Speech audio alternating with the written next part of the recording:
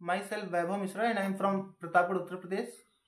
I have taken stem cell treatment from Stem Cell Care India on the 20th of September 2022 and today is 7th of March 2023.